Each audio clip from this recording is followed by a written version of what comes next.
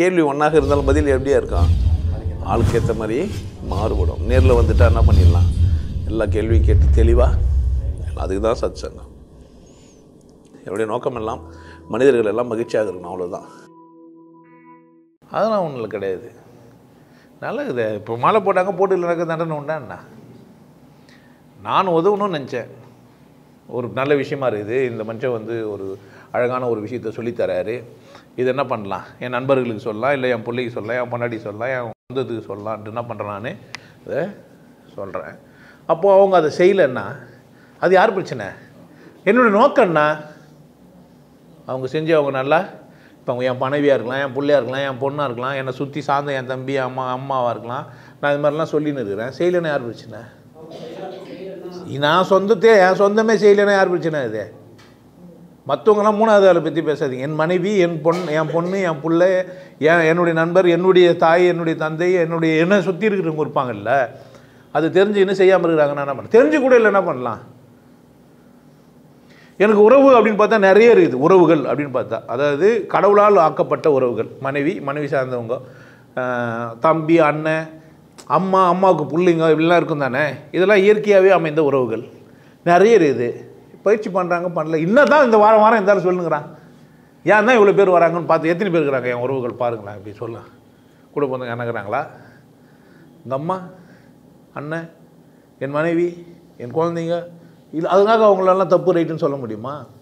எல்லாம் அது அது விஷயத்துக்கு வாழ வந்துக்குது. எப்படி வந்துக்குது?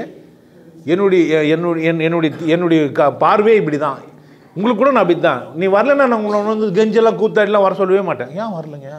ஒன்று வந்துருங்க அப்படிலாம் என்ன பண்ணும்? காலைல கூட ஒருத்தர் வந்து பேசியிருந்தாங்க சாயந்தரம் வரமாட்டேங்க தானே என்ன ஆமாம் எனக்கு வேலை இருக்குதுன்னாங்க போயிட்டாங்க என்ன பண்ணலாம்? இப்படிலாம் கிடையாது. எல்லாரும் எப்படி வந்துக்கிறாங்க? அவங்கவுங்க வாழ வந்துடுறாங்க.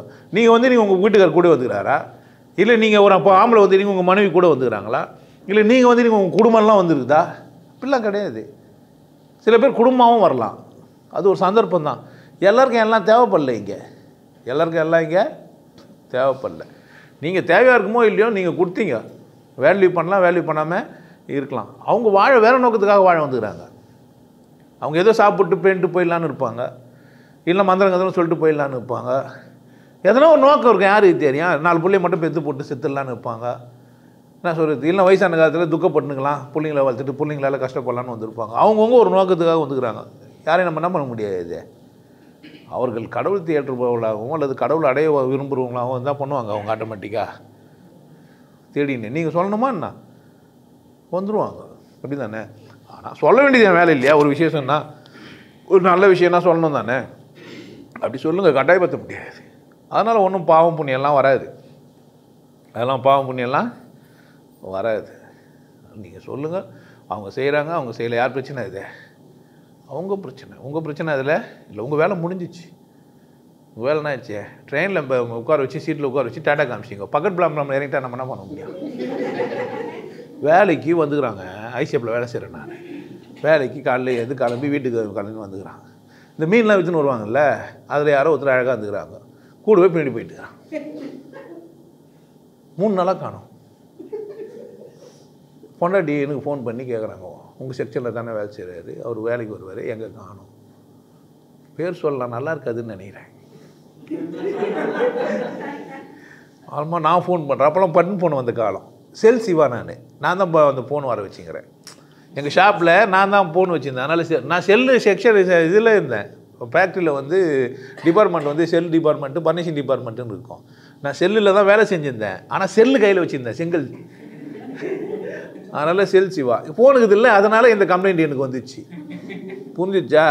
ஏன்? அவர் அந்த ஃபோன் வச்சுருக்கிறாரு. அவர் அவங்க ஃப்ரெண்டு தான். அதனால் கேட்டால் தெரிஞ்சிடணும் உடனே அவங்க என்ன பண்ணிட்டாங்க லேண்ட்லைன்லேருந்து நம்ம திருப்பியாக பண்ண முடியும். அப்போல்லாம் செகண்டுக்கு காசு விடும் ஒரு செகண்டுக்கு மூணு ரூபா நாலு ரூபான்னு ஆகிடும் மிஸ்டு கால் குத்து தான் வச்சுருக்கணும். ஃபோன் சும்மா பேச்சு தான் வச்சுருக்கணும். நானே ஷோ காட்டுறது வச்சுக்கிறேன் மேன் பவர் வச்சுக்கிறேன். என்கிட்ட இந்த மாதிரி ஒரு கம்ப்ளைண்ட் வரும். என்ன பண்ணலாம்? அது மாதிரி நோக்கத்தை மறந்து என்ன பண்ணிருப்பாங்க அவங்கவுங்க வந்த வேலையை விட்டு செய்கிறவங்களாம் இருந்துங்கிறான். சொந்த வேலை எதிரானா நான் யார் நான் எங்கேருந்து வந்தேன் எங்கே போக போகிறேன்னு தெரிஞ்சுக்கிட்டு தான் சத்தியம். வியாபாரத்துக்கு சொல்கிறல நினச்சின்னு இருப்பான் இப்போ நான் சொன்னேன் இது இவர் வந்து இவர்கிட்ட போனோம் நான் வந்து இவர்கிட்ட உபதேசம் வாங்கிக்கணும் இவர் வைக்கிற காசை கொடுக்கணும் இவர் காலில் வந்து மாலை வர போட்டு நொட்டணுமா? பேட.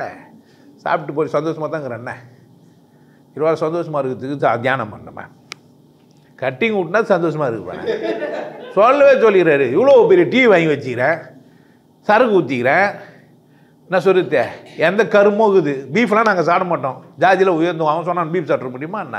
சிக்கன் லெக் பீஸு ஊசி போட்ட கோழி வச்சுக்கிறேன் என்ன சொல்கிறது ஒரு கடி ஒரு கொடி டிவி பார்த்துக்கிறேன். இதை விட சந்தோஷமாக இருக்க முடியுமா? நொட்டை. போய. அந்த தான் வேலை எடுத்து போய் சொல்லினா நீ வர தியானம் பண்ணுகிற மூச்சு விட்டுனுக்கிற. என்ன வர அங்கே வர அறிவு கட்ட முன்னும். திட்டம் ஆனால் திட்ட மாட்டானா ஏன்? நாத்தியம் சாயந்தரம் எப்படி இது சோபா வர இவ்வளோ பெருசாக போட்டுக்கிறேன். காலை அமுகத்துக்கு பொண்டாட்டி வர வருவா. நான் வர அதுக்கு நை நைட்டுக்கு போட்ட ட்ரெஸ்ஸு சாயந்தரமே போட சொல்லிட்டு பசங்களை வர வெளியே அமிச்சிட்டேன். இப்போ தான் எனக்கு வாழ்க்கையே வாழ ஆரம்பிச்சு. இன்னைக்கு தியானம் பண்ண சொல்கிறேன் போட. இவ்வளோ நாள் குழந்தைங்க சின்ன இருந்தது ஒன்றும் செய்ய முடியல. இப்போ தான் காலேஜில் எதுவுமே சேர்த்துட்டு வந்துட்டேன். அங்கேயே படிக்குதுக்கா.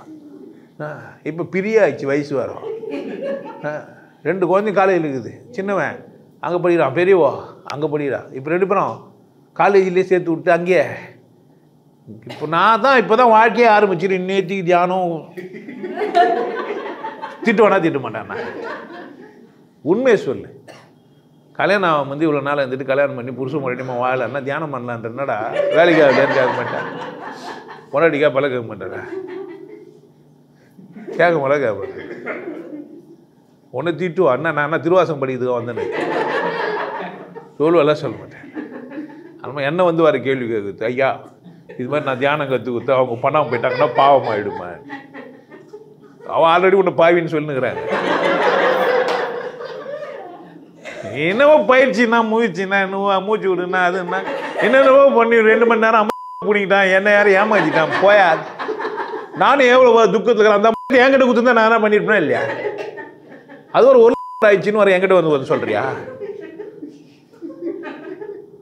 டென்ஷன் ஆக மாட்டாங்க. அடிக்காத குறையா விட்டுருப்பாங்க ஒன்று தயவு செய்து நீ தப்பிச்சுட்டு இருக்கிற உஷாராரு நாளைக்கு இது மாதிரி பாதிக்கப்பட்டவங்களாம் ஒரு சங்கம் ஆரம்பித்து வந்தாலும் வந்துடுவாங்க ஆ? நீங்கள் பொறுப்புலாம் இல்லை. நீங்கள் வந்தீங்களா எடுத்து வந்தீங்களா சொன்னீங்களா விட்டீங்களான்னு. சில பேர் சைலண்ட்டாக அவங்கள வரைக்கும் வந்து கம்முன்னு போயிடுங்க அந்த மாதிரி போயிட்டுன்றேன் நான். எதுக்கு இந்த ஆபத்து இந்த பிரச்சனை எல்லாம் வந்தோமா வேலை முடிச்சோமா பயிற்சி பண்ணோமா சைலண்ட்டாக வந்து சைலண்ட்டாக போயிடுது எவ்வளோ மேலே அதுக்கு ரிஸ்க் எடுக்கிறதுக்கு மாலா கேட்குறாங்க உங்களுக்கு என்ன பிரச்சனை? எது வந்தாலும் மாலா கண்ட சொல்லி நீங்கள் பேசுங்கன்னு சொல்லி விட்டுரு எனக்கு பிரச்சனை இல்லைல்ல. அப்படி சொல்லு. அப்படி பார்த்தா அவங்க பாவம் ரொம்ப கஷ்டப்படணும். நிறைய பேர் இன்னும் வந்து இருந்தாலும் ஏமாற விட்டோமே. அப்படிதானே? உண்மை புரிஞ்சா எப்படி இருப்பான்? அவனுக்கு டேஸ்ட் ஆஃப் லைஃப் தெரியல. குண்டல் ஒன்று இருக்குது. வெளிச்ச உடம்புன்னு ஒன்று இருக்குது. அது எழுந்து நம்மளை வெற்றி அடை செய்யுது. அங்கேருந்து நம்ம கவனிக்கும் போது இந்த உலகம் வேறு. அங்கேருந்து பார்க்குற பார்வை வேறு. இந்த மாதிரி ஒரு விஷயத்தை அவனும் அனுபவிக்கணும்னு தான் நம்ம என்ன பண்ணுறோம் நம்ம? உணர்ற உலகத்திற்கு சொல்கிறோம் ஆனால் அவங்க செய்யலாம் யார் பிரச்சனை இது? முயற்சி பண்ணி பார்க்கலனா யார் பிரச்சனை? உங்களுக்கு அது அதனால் நீங்கள் என்ன பண்ண முடியாது?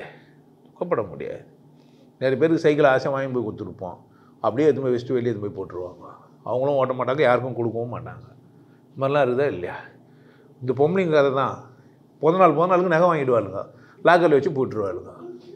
நம்மளும் மறந்துடுவோம் என்ன வாங்கி கொடுத்தோன்னு. கரெக்டாக இல்லையா? நிறைய பேர் வீட்டில் என்ன நடக்குதுன்னு அவங்களுக்கே கூட தெரியாது. இல்லை எப்படின்னா ஒரு நாள் ஓ- இருந்து எப்படின்னா புருஷங்காரன் திட்டான்னா நகையை திறந்து பார்த்து நிற்பாங்க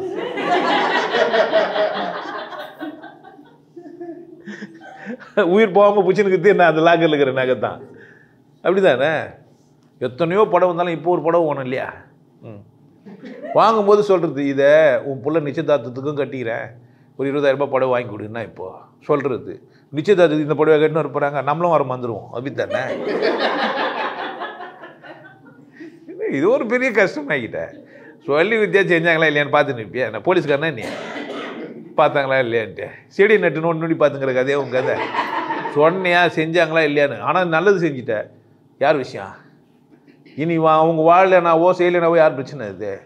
அவ்வளோதான் நம்ம சொல்லிட்டோம். நான் பேசிட்டேன் அவ்வளோதான் நான் என்ன பண்ணிட்டேன்? பேசிட்டேன். கடவுள் இப்படி தான் இருக்குது. சொல்லிட்டேன். கேட்கலன்னா யார் பிரச்சனை? வாழணும். மகிழ்ச்சியாக இருக்கணும்னு சொல்லிட்டேன். மகிழ்ச்சியாக இருக்க மாட்டேன் துக்கம் தான் போடுவேன்னா நான் என்ன பண்ண முடியும்? நீங்கள் சொல்லிடலாங்க. எனக்கு பிரச்சனை. என் வழி யாருக்கு தெரியும்? எனக்கு தான் தெரியும். நீங்கள் வெளியே தான் சொல்லிடலாம். அதெல்லாம் ஒரு பிரச்சனை இல்லை சிரின்னு நீ சொல்லிடலாம். அதுக்கே போய் எழுவாங்க என்ன பண்ணுறேன் தனியாக போய் என்னை சிரிக்க சொல்லிட்டான் தாலு அவனுக்கு வந்தால் தான் அந்த பிரச்சனை. எனக்கு ஃபோன் பண்ணி திட்டினவெல்லாம் உன் பொண்டு உன் பொல்ல உன் பொண்டாட்டி எல்லாம் போயிட்டா நீ என்ன கேட்டுக்கிறான். என்ன பண்ணலாம்? போன பிடுங்க முடியும். போயிட்டாங்களா அவளுமே அங்கேருந்து பிடுங்க என்னடா இப்போ சிரிப்பாக பேசுகிற என்ன பண்ண சொல்கிற ஆமா வெஸ்ட்டு அவனே நாலு நாள் போத்து. என்ன இருந்தாலும் நீ சொல்கிறது கரெக்ட் தான் வேற என்ன? அதில் அதெல்லாம் இல்லை. என் வேலை என்ன? உதவி செய்யறது அவ்வளோதான் என் வேலை. அப்படித்தானே ஒரு நல்ல மந்திரம் ஒன்று சொல்லி சொல்கிறான்னு சொன்னோம். சொல்ல மாட்டேன் யார் விஷயம். அது கெட்ட மந்திரம் ஓத்தான்றதெல்லாம் தப்பு. நான் அது மாதிரிலாம் சொல்ல மாட்டேன். எவ்வளோ பிரச்சனை வந்தாலும் நானாக சொல்ல மாட்டேன். என்ன வேணால் சொல்லுவேன். ஆனால் ஓத்தா மட்டும் சொல்ல மாட்டேன்ல நானாக பண்ண முடியும் ஓத்தா ஏதாச்சும் விட்டு வெளியே வர என்ன விட மாட்டேன்னா நான் என்ன பண்ணுறது சார் அந்த வார்த்தை மட்டும் சொல்லுங்க. வேற என்ன சொல்லுங்க? சரி ஃபக்கியூ பாஸ்டர் சொல்லிட்டு ஐயோ அது இன்னும் மோசமாகுது அதுவும் சொல்ல மாட்டேன். அப்போ எவி தான் பிரச்சனை விட போகிறேன் பிரச்சனைலாம் விட முடியாது. நான் வச்சுக்கிறேன். நீ போ. சிலது எதுக்கு தான் வந்து இதே? எதுக்கு? துக்கப்படவே சில ஜீவன் இருக்கும். அதை என்ன பண்ண முடியாது? அது உன் பிள்ளையாவோ உன் பொண்டாட்டியாவோ உன் குடும்பத்தில் அண்ணாவோ தம்பியாவோ பொன் யாரோ வந்துடலாம் சொல்லி திருத்த முடியுமா என்ன? ஐயோ நான் சொ- சொல்லினே இருக்கிறேன். விடிய காலையில் ஏந்துக்கிறோம் வாழ்க்கையில் நல்லா இருப்பான்ட்டு. விடிய காலையில் யாருமே ஏந்திரலாம் யார் பிரச்சனை? நான் ஏன் சேர்ந்து பார்த்துட்டு நானும் தூங்கிட்டா?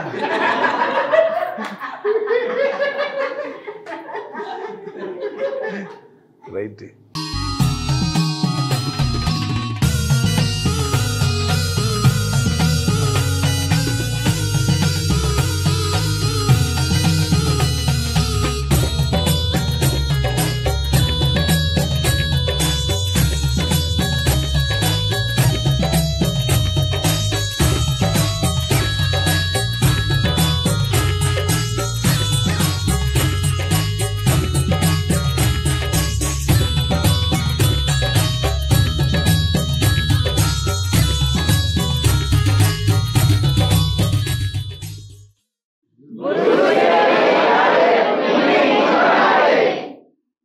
நல்லா இருங்க. சிறப்பாக இருங்க. கொண்டாட்டமாக இருங்க. உங்களை நீங்கள் மதிப்பு மிகுந்தவராக மாற்றுறது உங்கள் கையில் தான் இருக்குது. நல்லா இருங்க. நான் ஒரு வாய்ப்பு என்னை பயன்படுத்திக்கலாம். நல்லது.